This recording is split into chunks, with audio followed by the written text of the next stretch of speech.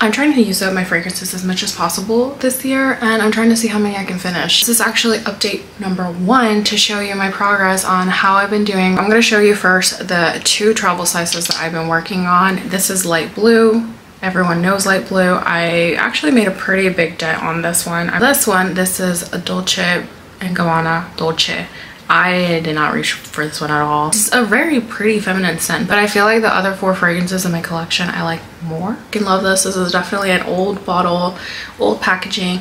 I made a little bit of progress of it, not too, too, too much. Next body mist is another Victoria's Secret body mist, Cosmic Witch. This is also a very, very old bottle. As you can see, this is why I'm going through my fragrances because a lot of them are pretty old. I am not really that surprised that I made such a big dent on it because as I mentioned in my intro, my nose immediately becomes nose blind to this fragrance. So I kept reapplying. Last but not least is this beautiful perfume, um, My Fifth Avenue by Elizabeth Arden. I really, really like this perfume that's pretty much my progress this month for these five fragrances. Unfortunately, I didn't finish any of them, but I'm very much close to finishing this one. So we'll see what I'll replace it with um, in the following month.